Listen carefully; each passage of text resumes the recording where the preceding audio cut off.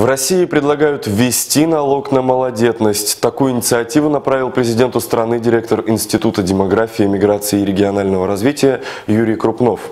Проект нового федерального закона также предлагает приравнять воспитание детей к трудовому стажу, оговаривает право родителей на получение бесплатного земельного участка.